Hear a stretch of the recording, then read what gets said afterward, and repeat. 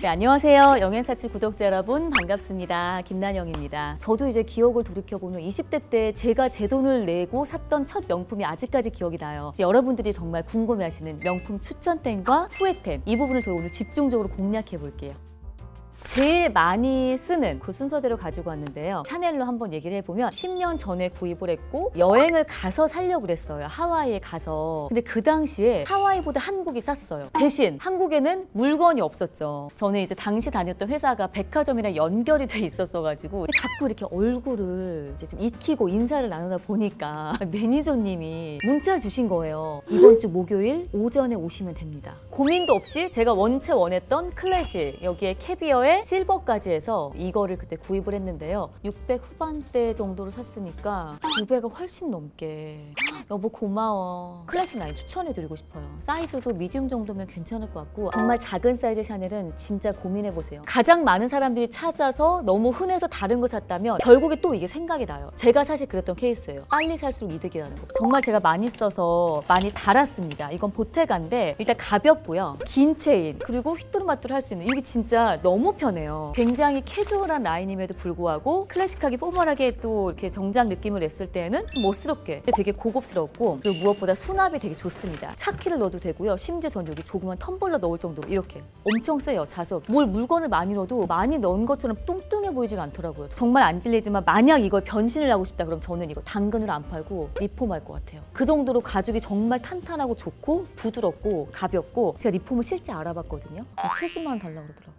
70만 원을 내고 할 용기는 없어요. 그 요몰이라고 표현을 하고 싶은 게 톰브라운의 미니백인데 이거 직구로 제가 산 거거든요. 애기들 토하거나 주스 흘리거나 했을 때 그냥 슉슉 닦으면 돼요. 너무 가벼워서 이거 하고 나가잖아요. 아 나 어디 뒀지? 여기 있네. 여행 갈 때 진짜 좋아요. 여권이 쏙 들어가요. 이게 제 찐템인 게요.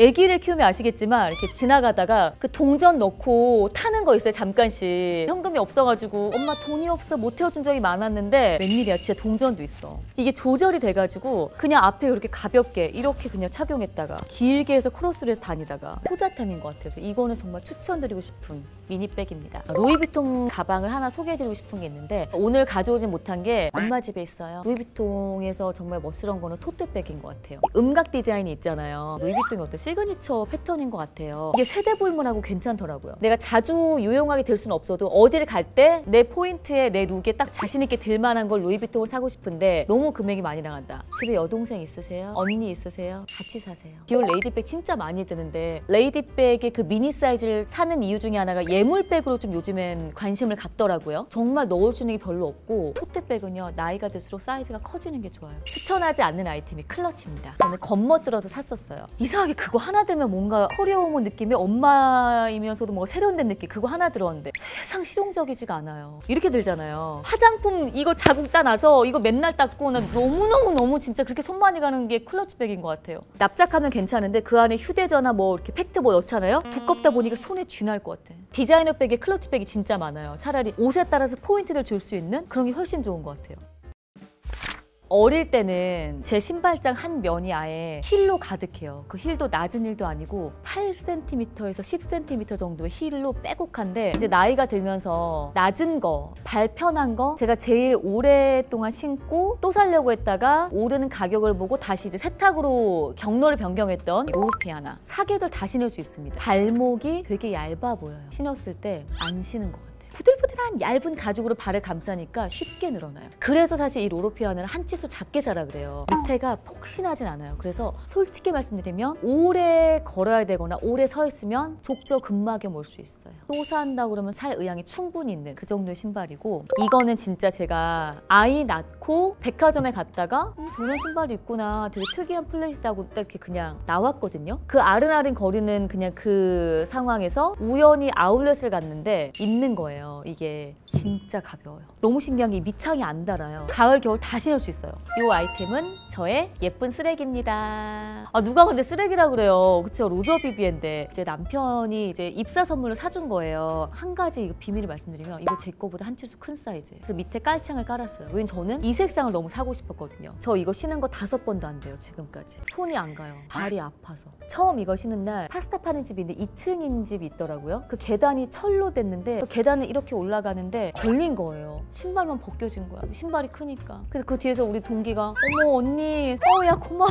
첫 만남인데 페디까지 뜯어져 있는. 거. 구두 사면 길들이는 단계가 있다 그러잖아요. 얘는 아파요. 근데 너무 예뻐요. 말도 안 되게 예뻐서 신었을 때 어떻게 하질 못해. 내치지를 못해요. 사실은 이제 에르메스 신발이 궁금하긴 했어요. 여름에 샌들 느낌을 친구랑 찾던 쯤에 아, 에르메스는 파리 loafer야. H 로고가 있고 대신 우리 신발 신으면 여기 보이죠? 이렇게 주름이 있잖아요. 이 주름이 지다 보니까 자글자글자글한 거예요. 처음에 신을 때 그 만족감이 시간이 지날수록 똑같지 않겠다 생각해서 찾은 라인이 로얄 loafer. 진짜 우리 남편 모르는데요. 제가 몇 달 동안 전 세계 에르메스 공식 홈페이지를 다 뒤졌어요. 그럼에도 불구하고 못 찾았거든요. 전화를 해요. 아침 10시 되면. 이제 물어봐요. 안 가르쳐줘요, 사실은. 두드리면 열린다고 두드렸어요.